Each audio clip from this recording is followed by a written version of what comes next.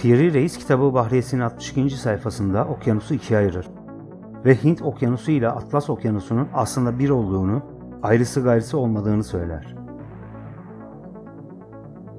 Güney Amerika'dan Çin'e daha önce ilk kez Portekiz'den çıkan 7 parça gemiyle seyahat edildiğini ve bu 7 gemiden sadece bir tanesinin Portekiz'e ulaştığını belirtir. Bu anlattığı olay Ferdinand Magellan'ın 1519 yılında yapmış olduğu seferden öncedir. Magellan 5 gemiyle seferini yapmıştır ve hiçbir gemi kurtulamamıştır. Piri Reis'in yazmış olduğu bu bilgiyi doğrulamak için Alman astronom ve haritacı Johannes Schröder'in 1515-1520 arasında yapmış olduğu dünya kürelerinde Şili'nin güneyindeki Magellan Boğazı'nı göstermesinden anlayabiliriz. İlk seferleri yapanların her yeri haritalandırdığını 63. sayfada bu haritaları Portekiz'de bulunan birkaç keşişi koordine eden ve ilimde kamil noktaya ulaşan bir papaza getirdiğini ve onun bütün bilgileri bir kitaba ve bir dünya küresine koordinatlarına göre yerleştirdiğini söyler. Küredeki bilgilerin Çin'den Batı Denizi yani Amerika kıtasına kadar olan bütün bölgeler ve adalar ölçüleriyle yazıldığını söyler. Bu papaz 5. Alfonso'nun kardeşi Fernando'yu evlatlık edinen amcası gemici Henry lakaplı Prens Henry'dir. Papaz olduğu için hiç evlenmemiştir. 1960 yılında 500. ölüm yıl dönümü nedeniyle Lizbon'da kurulan kaşifler anıtında en ön sıradadır. Magellan'dan 25 yıl önce 1495 yılında Fernando'nun oğlu 1. Manuel tahta geçince arma olarak küreyi kullanmıştır. 105. sayfada Kristof Kolomb rotasını anlatırken Dinle batının halini ki hudutsuz bir denizdir. O sanma ki Cezayir'dedir. Dinle bak nerededir dedikten sonra onun hududunu çok aradılar ama bulamadılar. Sonunda sınırsız bir kara olduğunu ittifak ettiler der. Lodos yani batıda bulunduğunu Septe'den 4000 mil batıya doğru gidildikten sonra San Salvador'a varılır. Oradan 230 mil gittikten sonra Küba'ya gidilir. Tarihçiler ne diyor bak der, sonra devam eder. Hicri takvime göre 870 yılında yani miladi 1465 yılında bulunmuş. Kolomb'dan 28 yıl önce ve tarihçiler bunu diyormuş. Buradan anlaşılıyor ki tarihi yeniden yazmışlar. Bu bölgenin ismine Antilya dediler. Yani bugünkü Antillerdir. Güney Amerika Bertilya idi. Piri Reis Kolomb'un bu haritasının kendilerine geldiğini söyler. 106. sayfada Kızılderilileri tarif ederken Yassı olur yüzleri, iki gözü arası da açıktır. Sanırsın ki bu açıklığın arası bir karıştır der. Burada bir karıştır demiyor, sanırsın diyor yani mübalağa yapıyor kuş tüyleriyle süslenmiştir başları der. Bundan sonra çok önemli olan dikkatimizi yoğunlaştırmamız gereken şey kiyah diye bir bitkinin yapraklarını bir kere yediklerinde Akdeniz'de kafirlere aman vermediklerini söylüyor. Yani o bitki insana cesaret veren bir hormon salgıladığını anlıyoruz. Sonra onların gemisinde siyah bir mihenk taşı gördüğünü, onunla zincire vurduklarını, zincirin kırıldığını fakat taşa hiçbir şey olmadığını gözüyle gördüğünü söyler.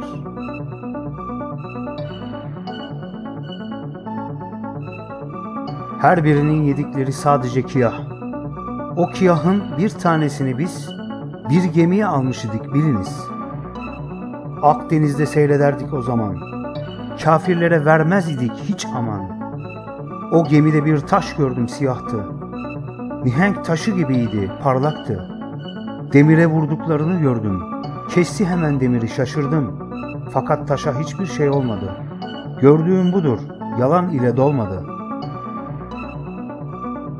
Piri Reis'in Amerika'ya gitmediğini, dünyayı dolaşmadığını diyen sözüm ona araştırmacılar, tarihçiler önce kitabı Bahriye'yi saygıyla edeple okumaları gerekir. 108. sayfada Kristof Kolomb'un Amerika'ya gelişini anlatır.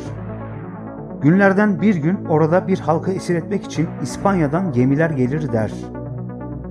Daha önce gidildiği için o bölgenin İspanya yolu olduğunu söyler. Gemiciler denizde bir sandal görür ve onu takip ederek bir adaya varırlar. Küba bu şekilde bulunmuş. Küba'da insan çok olduğu için bunları esir edip köle olarak kullanırlar. Kolomb'un krala gönderdiği haritada Küba'yı göstermemesi bundan dolayıdır. Pierre Reis oradan iki Kızılderili'yi İspanya kralına gönderdiklerini söyler. Bundan sonra Kolomb bu bölgenin valisi olmuştur. Kitapta yerlilere boncuk verip karşılığında altın aldıklarını, daha sonra yine boncuk verip karşılığında inci aldıklarından bahseder. Pierre Reis'in bu anlattıklarının aynısı Edward Eggleston'un 1898 yılında yazmış olduğu Amerika tarihinin ilk kitabında aynen yazılmıştır. 109. sayfada Amerika'nın keşfine giden yolu aydınlatmıştır. Christoph Kolomb, Ceneviz'de yani şimdiki İtalya'da Cenova'ya o zaman verilen isimdir. Orada yaşayan bir müneccimmiş. Bir şekilde eline Şanlı İskender'den kalma bir kitap geçmiş. Şanlı İskender denilen kişi Makedonyalı İskender değildir. Kur'an'da geçen Davut Aleyhisselam'ın oğlu Süleyman Aleyhisselam'dır. Onun yazdırmış olduğu kitapta dünyanın bütün karaları, denizleri bir bir kayıt altına alınmış ve o noktaların nasıl bulunacağının da ilmi vardır. Mısır'da Roma hakimiyetinden sonra Araplar 642'de oraya girdiği zaman elitler Akdeniz'in karşı tarafına kaçarken kitabı da beraberinde götürmüş olduklarını söyler. Bu kitabın ilmi içeriği 1200'lü yıllarda Johannes de Sacrobosso'nun Spera Mundi isimli kitabında gözükmektedir. İki asır sonra bu kitap Christoph Kolomb'un eline geçtiğini, o da tercüme ettirebilmek amacıyla coğrafi keşifleri finanse ve koordine eden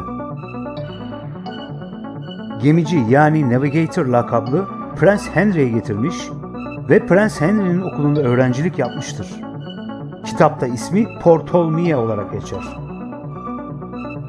Mısır dilinde yazılmış olan kitabı papazların aracılığıyla İtalya'nın Floransa kentinde yaşayan ve Rönesans'ın mühendisi Marsilio Ficino'ya yollamıştır. Tercümesini yaptıktan sonra Paolo dal Pozzo Toscanelli kitabın koordinatlarını ve aritmetik çözümünü yapmıştır. Daha sonra mektupla Kristof Kolomba bugünkü Moğolistan'ın yani Çin'in kuzeyi Piri Reis'in kitabında Çin denizini anlatırken belirttiği Hıtay bölgesinin haritasını göndermiştir. Fakat bu yol bilinen Afrika'dan dolaşıp gidilen Hindistan yolu değil, Atlas Okyanusu'ndan direkt Moğolistan'a gidilen haritaydı. Koordinatlar Amerika kıtasını gösteriyordu. Pierre Reis kitabın 78. sayfasında 7 denizin ilki olan başlangıç olarak Çin denizini anlatırken şöyle der. En sonudur Şark ilinin o diyar. Bahri azamdır onun. Yoktur örneği. Büyük bir deryadır hep güneyi. Hatay mülküdür şimali onun. Şekli bir körfez misalidir onun. Payi tahtı çiğni maçundur ayan. Yerlisi der, çiçiçano maçiçan. Yerlisini de dinle şimdi sen. Ellerinde birer putları var. Kendi gözüyle görmüş olduğu Çin izlenimlerini bu şekilde anlatır. 79. sayfada der ki, Şimdi bildik Çin ilinin halini, Portekiz'in anlattığı ahvalini. Portekizli'den sual ettim bunu.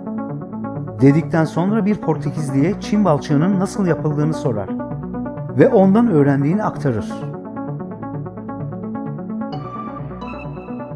Kendi izlenimlerini anlatırken Çin halkının selamlaşma ve yapmış oldukları putlarla kurmuş olduğu bağı olduğu gibi yazar.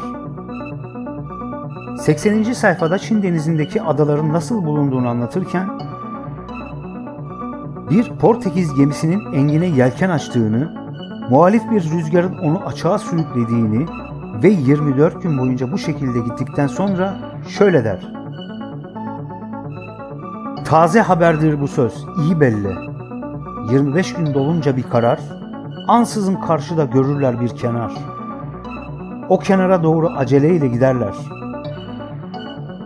Halkla dolu olduğunu görürler. Bakarlar ki hepsi çırılçıplaktır. Daha sonra savaşçı bir halk olduklarını, kadınların ve erkeklerin ok atmakta çok mahir olduklarını söyledikten sonra 81. sayfada insanların görünüşlerini tarif ederken der ki İçlerinde türlü insanlar var acayip.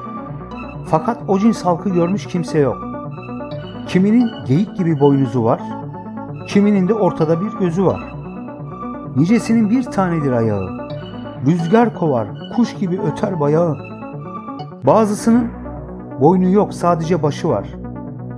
Göğsünün üstünde bulmuştur bir karar. Bir kısmının suratı köpek gibidir. Kuyruğu da it gibi onun peşindedir. Böyle değildir fakat sahici köpek ola. Diyerek halkın yerel giyinişini tarif ederken kullandıkları materyalleri anlatmak istediğini belirtir. Bu bölgenin neresi olduğunu 82. sayfada söyler. Fil kulaklı insanlar edinmiş orada durak. İşit şimdi, fil kulaklı nasıldır? İşitince dona kal bak nedir? Dürer iki kulağını onlar. Ensesinde ikisini bağlar. Eğer çözerse ta dizine uzanır. Bazı günler yorgan gibi üstünü örtünür. Fakat o da insandır, değildir yırtıcı. Hareketi hayvan gibidir, içi insancı. Bahri içindedir bu anlatılan. Böyle anlattı bu haberi anlatan.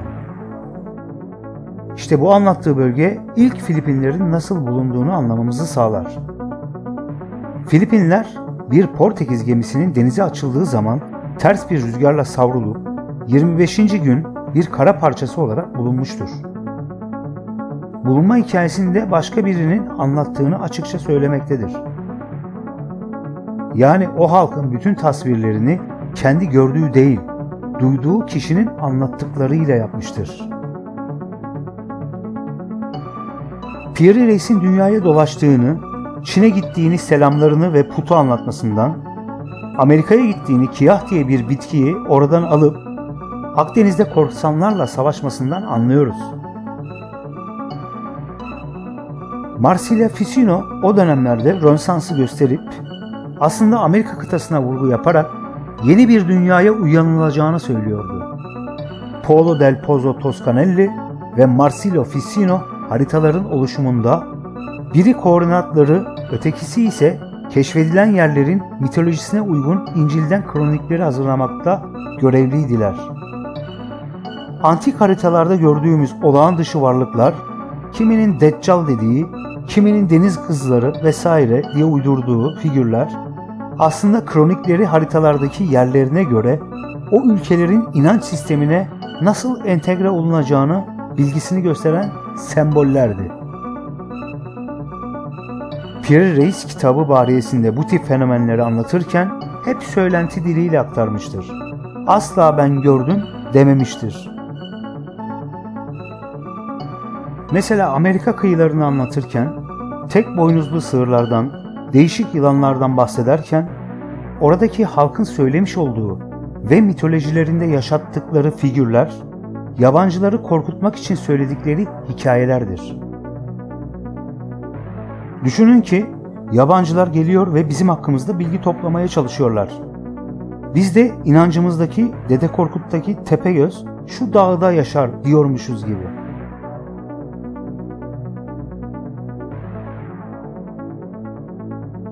Kitapta saklı olan çok büyük bir ilim vardır. Kitabı hazine aramak için okuyanlar asıl hazinenin bu olduğunu farkında değildirler. Bu ilim hazinesini bize ilk kez büyük düşünür, filozof, araştırmacı ve kaman Oktan Keleş açık etmiştir. Bakın ilerideki olacak hadiselerle alakalı Amerika buzullar ve çizdiği onu ancak harita üzerinden gösterebilirim. O enlem boylam zannedilen çizgiler bizzati yerlerin nelerle kesiştiğini gösteriyor. Sırrını veriyor bize. Kitabı bu gözle okuduğunuz zaman Akdeniz'i ve onunla birlikte dünyanın bütün sırlarını öğrenirsiniz. Piri Reis'in dünyayı dolaştığını yedi denizi anlatmaya başlamadan önceki şu girizgahtan bile ispat edilebilir. Dikkat edin, tüccarların denizlerin 11 olduğunu, eğer onların dediklerini bende sayarsam 20'ye çıkacağını söylerken, tüccarlardan bile daha fazla dolaştığını kelimenin derininde görmek mümkündür. Gel beri, gör bütün deniz ilmini. Bazıları neler demişler bilmeli. Ta yukarıda demiştik ki biz size. Yedi tanedir derler bütün denize. Bazıları derya için gör ne demiş. Deniz on birdir diye söylemiş. Tüccar olanlardan öğrenmişler. Fakat tüccar sözü değildir bu işler. Çünkü tüccar ne kadar yer gezer. Bilmez ki yol nerelere gider. Bildiği sadece konduğu limandır. Denizi hep o gittiği yer sanır. Eğer ben de onun gibi söylesem, ta 20'ye varır, hepsini desem. Okyanus halidir onların her biri. Kimi küçük olur onların, kimi iri. Şimdi asıl yedi tanedir denizler. Aklı olan bunu hep böyle beller. Denizcilerin gördüğü üzere her birini söyleyeyim, işitesin onların isimlerini. Piri Reis'in kitabı Bahriyesi genellikle tüccar kafasıyla okunduğu için derinindeki bilgiler anlaşılamamıştır.